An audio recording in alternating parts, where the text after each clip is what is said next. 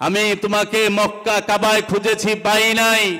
আমি কাশিতে খুঁজেছি, পাই নাই। আমি মসজিদে খুঁজেছি, আল্লাহ পাই নাই। আমি মন্দিরে খুঁজেছি, আল্লাহ তোমাকে পাই নাই। কিন্তু আমি পাইছি আমার ভাঙা হৃদয়ের মধ্যে তোমারে। আমার হৃদয়ের মধ্যে ভাঙা হৃদয়ের নিকটে দেখি তুমি সমাসীন হয়ে রইছ। আল্লাহর হাবিব রহমাতাল্লিল আলামিন কাবা শরীফে ধ্যান করতে গেলেন না। গেছে। মসজিদুল আকসায় দায়মি সালাত ধ্যান করতে যান নাই। মসজিদুল আকসায় যাইতে পারতো না আল্লাহর হাবিব। ধ্যান করার জন্য জেরুজালেমে, ফিলিস্তিনে কেন গেলেন না? আল্লাহ মসজিদুল হেরেম কাবা শরীফে যাইতে পারতেন না। পারতেন তো, কিন্তু গেলেন না। আল্লাহর হাবিব কোথায় গেলেন? জাবালে নূর পাহাড়ের হেরা পর্বতে হেরা গুহায়। হেরা গুহায় গেলেন। জীবনে আল্লাহর হাবিব একদিনের জন্য কাবা ঘর কিংবা মসজিদুল আকসা এবং মসজিদুল হেরেমের মধ্যে ধ্যানস্থ ছিলেন না। হেরা পর্বতে ধ্যানরত রইলেন। আল্লাহর হাবিব বদলতে কি পেলেন? আল্লাহর হাবিব বদলতে রুহুল আমিনের সাক্ষাৎ পেলেন। রুহুল আমিনের দিদার পেলেন। কোথায়? হেরা পর্বতে, আল্লাহর কোরআন, আল্লাহর গড় কাবায় নাজিল হয় নাই, হয়েছে হেরা পর্বতে। আল্লাহর বাণী আল কোরআন, আল্লাহর বাণী আল কোরআন, মসজিদুল আকসায় নাজিল হয় নাই, হয়েছে হেরা পর্বতে। তাই আমার মুর্শিদ কালান্দার বাবা জাহাঙ্গীর বলেছেন, তাহলে অবশ্যই কাবার ঊর্ধ্বে হেরা গুহা। কাবাই শরীয়ত, হেরা গুহায় মারে ভত কাবাই শরীয়ত হেরা গুহায় মারে ভত কাবার মধ্যে আল্লাহর কোরআনের আয়াত নাজিল হয় নাই। হেরা পর্বতে স্বয়ং রুহুল আমিন এসেছি। তাহলে সেই হেরা পর্বতের শিক্ষা আমাদেরকে গ্রহণ করতে হবে। যদি আমরা রহস্য জগতের সন্ধান চাই, যদি আমরা নিজেকে চিনতে চাই, নিজেকে জানতে চাই, অবশ্যই হেরা পর্বতের শিক্ষা নিতে হবে। আমরা দেখি আল্লাহর হাবিব হেরা পর্বতে গেছে। আমরা দেখি মুসা কালিমুল্লাহ, সে তুর পাহাড়ে গেছে। আমরা দেখি মা মরিয়ম মেহরাবে গেছে। আমরা দেখি কাহাববাসী কাহাব গুহায় গেছে। আমরা দেখি ইউনুস নবী মাসের পেটে গেছি। একজন নবীরে দেখলাম না, মসজিদুল হেরেম এবং মসজিদুল আকসায় ধ্যানস্থ হইতে মোরাকাবায় বসতে দেখছেন কেউ? না। আমরা দেখেছি কাবা আবু জেহেলদের দখলে ছিল আবুল আহাবদের দখলে ছিল, আমরা ইতিহাসে পাই না। কাবায় তিনশো ষাটটা মূর্তি আরবের কাফেরদের তিনশো ষাট মূর্তি বুঝাই ছিল ছিল না। তিনশো ষাট মূর্তি আল্লাহর হাবিব কাবা থেকে মাওলা আলীকে নিয়ে সরাইছি। কারে নিয়া? মাওলা আলীরে নিয়া। মূর্তি সরাইতে গেলে ওলি লাগবো।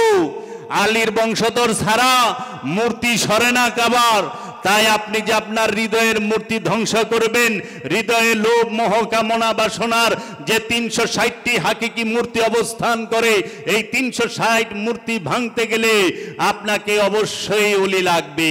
অলির ধ্যান ছাড়া কাবার মূর্তি ভাঙা যাবে না, মূর্তিও দুই প্রকার। একটা পাথরের মূর্তি আর একটা লোভ মোহের মূর্তি। একটা হাকিকি মূর্তি, একটা মেজাজি মূর্তি। মেজাজি মূর্তি মানুষে বানায়, পাথরের মূর্তি মানুষ বানায়, কিন্তু লোভ কি মানুষ বানায় পারে? লোভ তো আল্লাহ ঢুকাই দিছে, ইচ্ছাকৃতভাবে পরীক্ষা করার লিগা। ওইটা ভাঙার লেগে আল্লাহ কইছে, এইটা ভাঙ, এই মূর্তি ভাঙ। ওখানে আমরা যায়া ধাপুর দুপুর পাথরের মূর্তি তো বাইরে ভাঙবার লইছি, কিন্তু মনের মূর্তি অহংকার ভাঙা পারি না। অহংকার ভাঙা পারে, লোভ ভাঙতে পারে। না, কিন্তু মন্দিরের মূর্তি বাইরে ভাঙন যায়। কিন্তু কলবের মধ্যে লোভ, হিংসা, কামনা, বাসনা, অহংকার নামক যে তিনশো ষাটটি মূর্তি আছে, সেই ষাট, তিনশো ষাট মূর্তি ভাঙতে হবে ওলিয়ে কামেলের ধ্যানের দ্বারা, দায়েমি সালাদ দ্বারা, দায়েমি কুরবানির দ্বারা, দায়েমি জাকাতের দ্বারা, দায়েমি হজের দ্বারা। এর জন্য সিয়ামের মাস, মাহে রমাদান। রহমতের মাস, বরকতের মাস। এই রমজান মাসে আমাদের উদ্দেশ্য এবং লক্ষ্যই থাকবে কলবের মধ্যে যে তিনশো ষাটটি হাকিকি মূর্তি আছে, একে একে এই সিয়ামের মাধ্যমে এক একটি মূর্তি ভেঙে ফেলা। মূর্তি ভাঙার অপর নামই হচ্ছে সিয়াম। মূর্তি ভাঙার অপর নামই সিয়াম। অনে মনের মূর্তি তো ভাঙবার মন চায় না। লোভ মানুষকে জাহান নামে নেয়, পাথরের মূর্তি জাহান নামে নিতে পারে। এরে তো লড়ানি লাগে মানুষের কান্দে সরায়া। বেচারারে ডুবাইব, তারপরও কান্দে লন লাগে। হ্যাঁ নিষ্ক্রিয়, অথর্ব। সে নিজে চলতে পারে না পাথরের মূর্তি, কারও লাভ, ক্ষতি কিছুই করতে পারে না।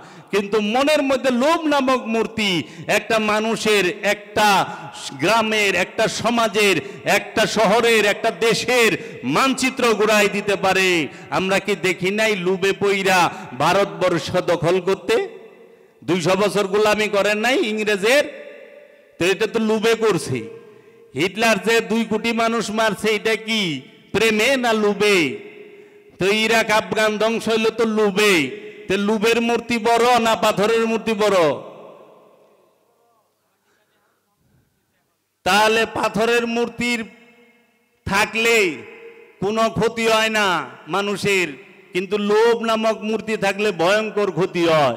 অনেক লোভের মূর্তি বাংবার চায় না, পাথরের মূর্তি বাংবার চায়, দুটাই মূর্তি। এই মূর্তি ভাঙার অপর নামই হচ্ছে শ্যাম এখন কে কয়টা মূর্তি ভাঙতে পারছেন কন? সারাদিন না খায় থেকে মূর্তি ভাঙন যায়? না। সারাদিন গুরুর ধ্যান করলে দায়মি সলাৎ করলে, রবের জিকির করলে, রসুলের ধ্যান করলে মূর্তি ভাঙা যায়।